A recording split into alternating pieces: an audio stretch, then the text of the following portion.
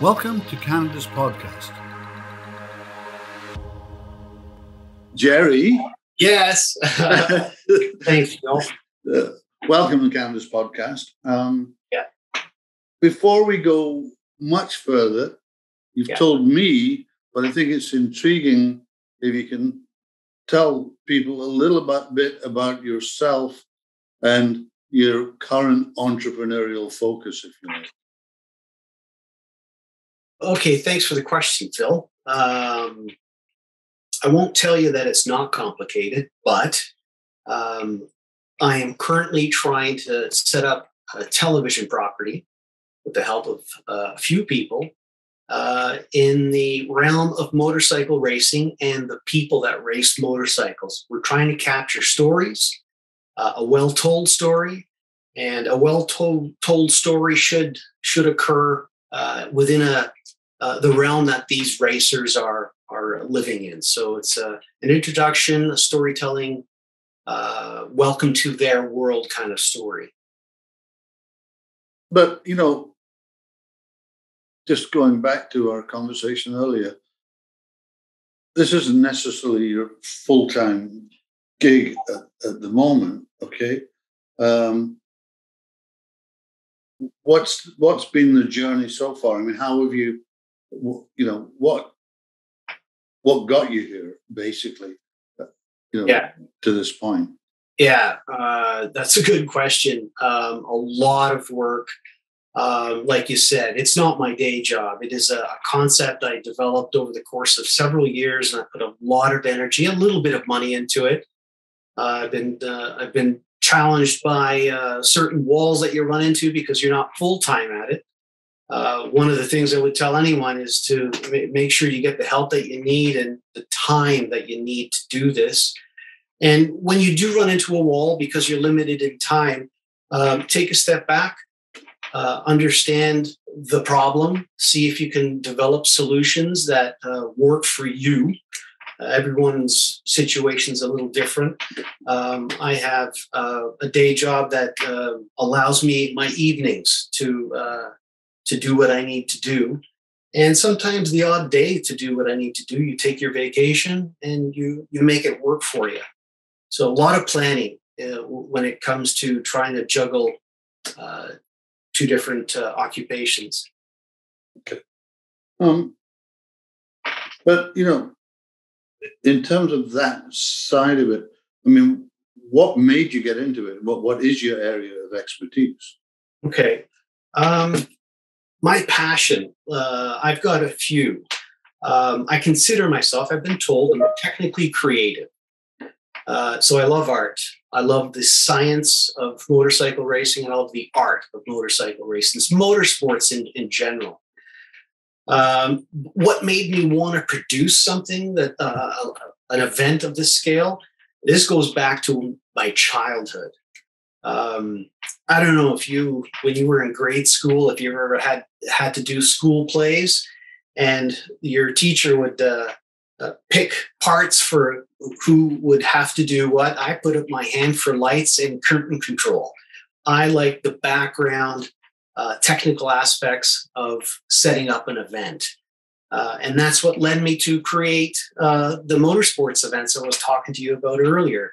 Um, well before Motorcycle Wars, uh, I was running um, arrive and drive programs. I don't know if you're familiar with the Woodbine Racetrack uh, in, Tor- in Etobicoke. Yeah, Yeah, so I used to rent that parking lot on Saturdays and Sundays and teach people how to drive Formula 2000 race cars.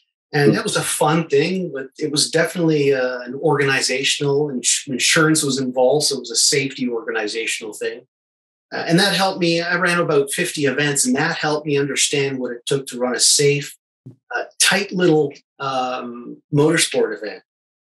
So my passion lies in uh, producing events, um, things that are larger scale than what I would do alone.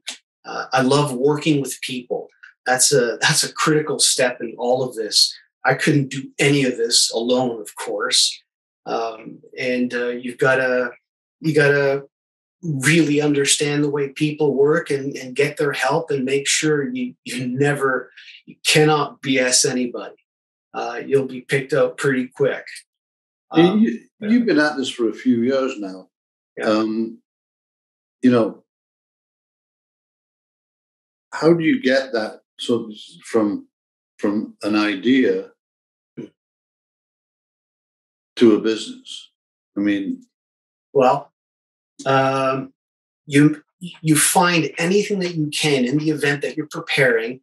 Uh, first off, I should say that motorsports lends itself to brands brand partners sponsorships. Mm-hmm. So, in designing the event, you have to include how will this work? How do you create value for a sponsor, someone who wants to become your uh, brand partner? How do you do that? You got to hire professionals or at least talk to as many professionals as you can. I was telling you earlier, this isn't super funded at this point, mm-hmm. uh, or the growth part of it, right? I had to uh, really pinch my pennies. And I recently found some really cool people to work with who are helping with the idea of uh, polishing up how I uh, create that value for the brand partners. Mm-hmm. Mm-hmm. Uh, if I don't find brand partners, I can't continue with this passion of mine. Mm-hmm. So it's critical. Okay. So you know, in in in the years you've been at it, been saying about brand partners, what would you say is the biggest challenge so far? Let's say that you've overcome. Okay. That's a great question. Um, the time that it takes to describe what you're doing, you got to be really clean, articulate, uh, as accurate as possible, and you've got to reach people. And there's the limit of not being able to do this um, 100% of my day time. Uh, you've got to meet people. You've got to go belly to belly, uh, as I like to say. Um, you've got to certainly polish your offering. You got to make sure it's to industry standards. Uh, and you, you do that by talking to as many uh, industry standard people you can. And then when you're ready to make the offer, you, you got to go and talk to as many people as you can. Uh, if you reach 100, you might be lucky and get five, and five is all you need. Um, but you got to bring value to the the uh, to the brand partner. You got to work with them. You got to listen and uh, find the right people to work with. Um, you can't. This isn't for everybody, right? I mean, uh, it's it's about relationships, and uh, you need time to develop that trust in that relationship aspect of things. Well, you, you know, you've been building it. I mean, we have lots of entrepreneurs that listen, view the show. Um, some of them just starting on their journey. What advice would you give to those folks who are, you know, the, thinking about you know taking an idea, want to start a business? You know, what advice would you would you give to them? You're uh, still in the process, after all. So yeah, yeah, I'm still in it. Um, tenacity. Uh, you got to really believe what you're doing is the right thing. Uh, and in order to believe it, you got to be careful not to become delusional in your own thoughts. So you do self checks and you do industry checks. You talk to a lot of people. What do you think of this? Right. And I've, I've done that many times. The whole uh, motorcycle wars property is developed by at least, and I'm just bringing these, I could name them, I won't just now, but I could tell you at least five people that had a major role in guiding it into what it is today. So you got to listen to people, meet people. You can't uh, excuse the language, piss anyone off. Mm-hmm. You got to be nice to everybody, um, and you got to stay in touch with them as oft as often as you can. Um, you got to build the trust.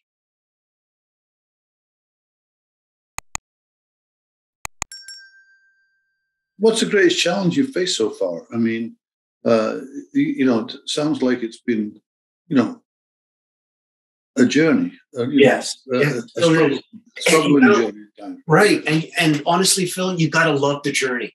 If you don't love this journey, the problems and the challenges, and you, you overcome them. Right. If you can't overcome something, take a step back. It could be a few weeks. It could be a few years that you step back. but if it's still alive and it's worth it, you, it'll come back to the forefront. Um, could you repeat your question? I'm sorry, Phil. Well, that was good. No, you gave me, you gave me, you gave me your answer. Okay. Um, you know, I always ask this question about mentorship.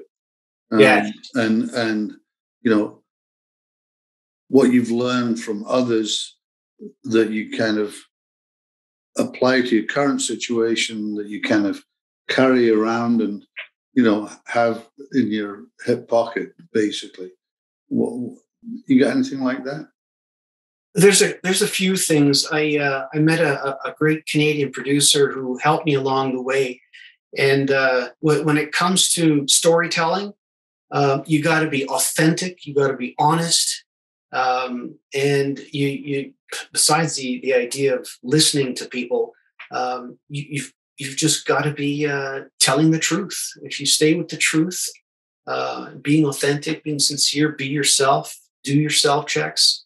Mm-hmm. Um, that that I think that's not only good for the entrepreneur or for the person in business, but it's it's good for uh, capturing stories. Interesting. What do you think today is your biggest challenge? Hmm. Um, well, we're at the last phase of uh, pitching the show, um, and uh, I think I've overcome the the last biggest phase or biggest challenge. Sorry, uh, and that was to reach out to as many brand partners as we can.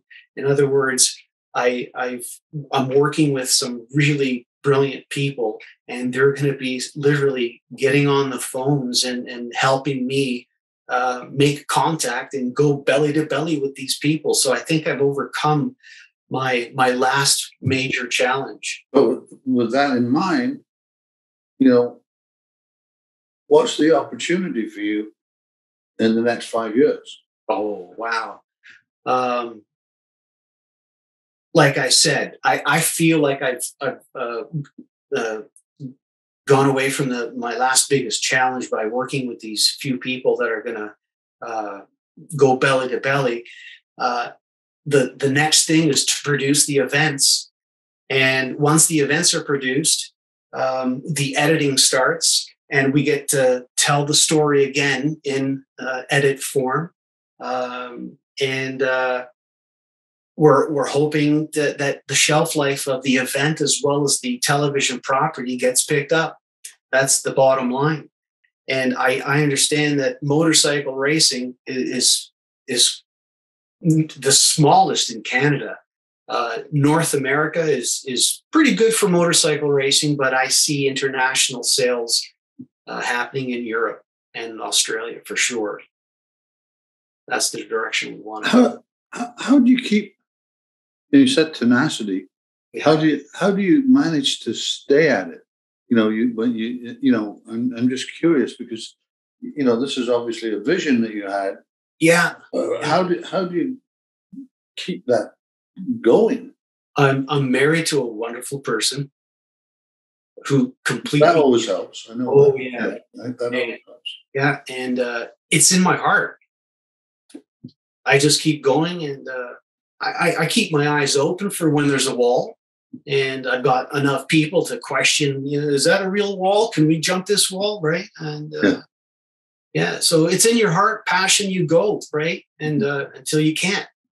So fun so, We'll just have some fun ones. Are you a morning or a night person? Ha, both. I love waking up early and I stay up late. Oh wow. Yeah. I don't often get that answer. That's really interesting. You said, yeah. You know, that's really interesting. Yeah. If you weren't doing what you were doing now, what would you be doing instead? Oh, that's a that's a great question. Um, well, uh, we didn't get onto the idea of what I do during the day, but I wouldn't be doing that. I would be doing television production or something in the something in the arts. Uh, I went to Ryerson uh, Polytechnical uh, University. Yeah. And uh, I was in the material science corridors, the science corridors. Yeah. I would walk by the radio and television arts, and I would look at that section of Ryerson and say, that's not for me, just because I didn't like being in front of the camera. But little did I know, the real me is behind the camera, right? Maybe I would have been a camera operator. I would have been a damn good one too. yeah, I love editing. Mm-hmm. Editing was a lot of fun. I didn't know anything about editing, and Final Cut Pro comes out, and wow, it's uh, it's intuitive enough to to to, to use it. So, so you're you're still in let's call it an emerging entrepreneur.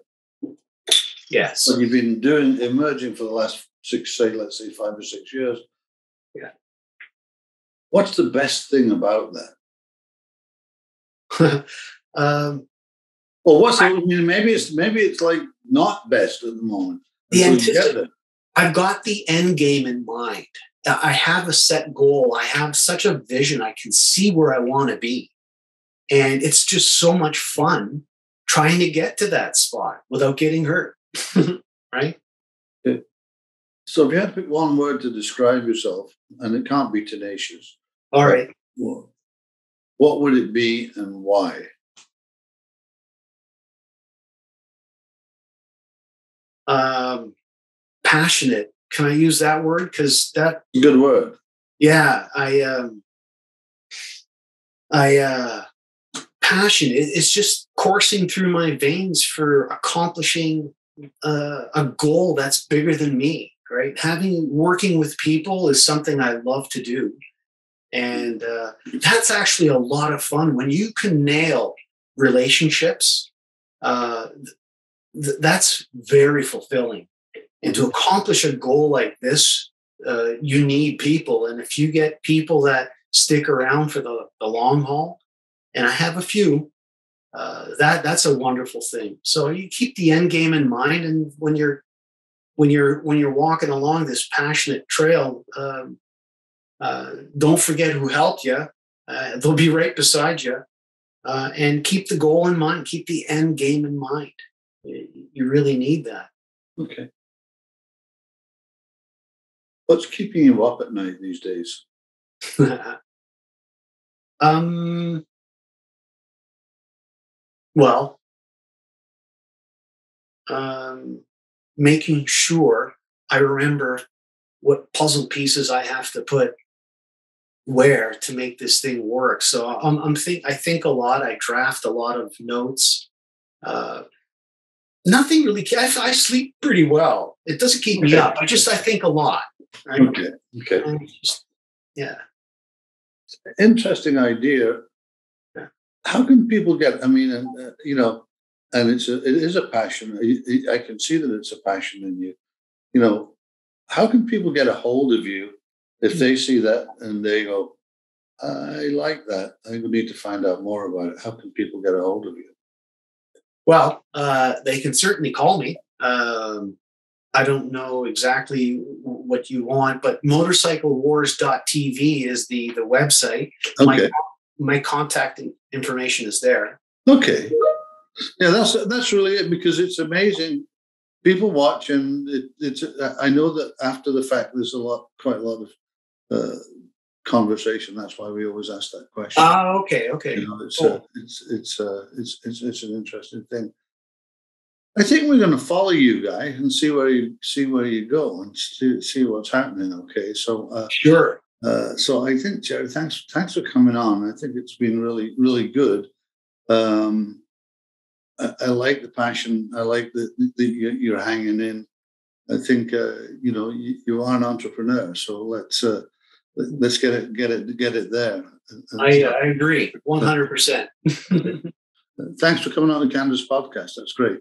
Thank you very much, Philip.